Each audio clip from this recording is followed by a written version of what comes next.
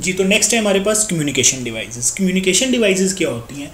Communication devices ऐसी devices होती हैं जो कि दो या दो से ज़्यादा कंप्यूटर्स को आप इसमें कम्युनिकेट करवाने के लिए यूज़ होती हैं, कि जिसके थ्रू कंप्यूटर जो है वो अपनी इन्फॉर्मेशन वगैरह शेयर करते हैं, उन्हें हम कम्युनिकेशन डिवाइसेस कहते हैं। मोस्टली यूज़ होने वाली कम्युनिकेशन डिवाइसेस जो हैं, वो डायलअप मॉडम है और नेटवर्क इंटरफेस कार्ड है। सबसे पहले जी डायलअप मॉडम के डायलअप मॉडम क्या होता है? डायलअप मॉडम का जो वर्ड है, वो मोडुलेटर और डी मोडुलेटर से लिया गया है। मॉडम का वर्ड जो है, वो मोडुलेटर एंड डी मोडुलेटर से लिया गया है। अब मॉडुलेटर और डी मॉडुलेटर क्या होते हैं? ये सबसे पहले देख लें।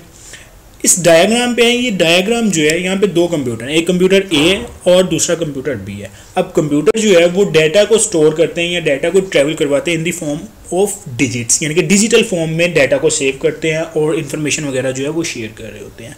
सबसे पहले कंप्यूटर ए है। कंप्यूटर ए ने कंप्यूटर बी तक जो है, वो मैसेज भेजना है या कोई डाटा भेजना है।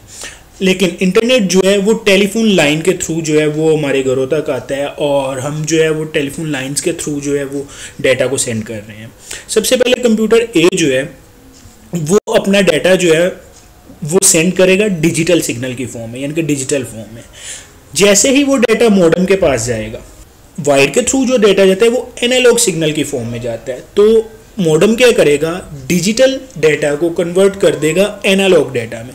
एनालॉग डेटा में कन्वर्ट करेगा तो वो नेक्स्ट कंप्यूटर के पास ट्रेवल होगा। जैसे ही नेक्स्ट कंप्यूटर के मॉडम के पास जाएगा तो नेक्स्ट कंप्यूटर के मॉडम के पास जब जाएगा तो वो एनालॉग फॉर्म में जाएगा। लेकिन जैसे ही मैसेज जो है वो रीच करेगा उस कंप्यूटर में तो ये मॉडम जो है, जो कंप्यूटर बी के साथ अटैच है, वो मॉडम उस डेटा को डिजिटल फॉर्म में कन्वर्ट करेगा और कंप्यूटर बी तक जो है, वो एज इट इज़ मैसेज जो कंप्यूटर ए ने भेजे हैं, वो पहुँचा देगा। अब कंप्यूटर ए से जब डेटा गया डिजिटल फॉर्म में गया तो उस मॉडम ने क्या किया? उसको एनालॉग में कन्वर्ट कर दिया। अब डिजिटल सिग्नल को एनालॉग सिग्नल में कन्वर्ट करना मॉडुलेशन कहलाती है।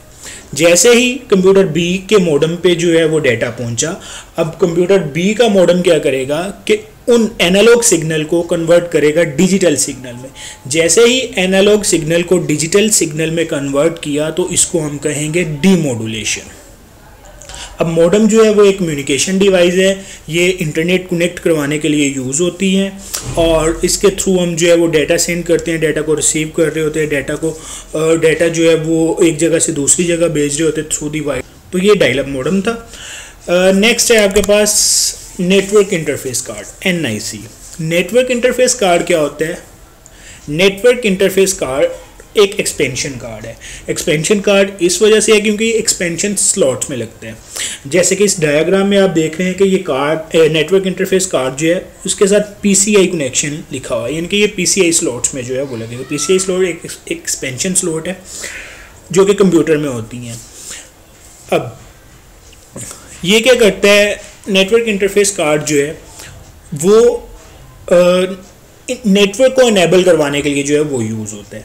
मतलब कि इंटरनेट कनेक्ट करने के लिए कंप्यूटर के साथ जो है वो नेटवर्क इंटरफेस कार्ड यूज़ होता है। अगर नेटवर्क इंटरफेस कार्ड नहीं होगा तो हम जो है वो आ, अपने कंप्यूटर पे इंटरनेट है उसको एक्सेस नहीं कर सकते। एन आई सी का यानी कि नेटवर्क इंटरफेस कार्ड का एक यूनिक सीरियल नंबर होता है जो कि बताता है कि जो कि यूनिकनेस शो कर रहा होता है नेटवर्क पे आपके कंप्यूटर की। कंप्यूटर की यूनिकनेस जो है, वो शो कर रहा होता है ऑन दी इंटरनेट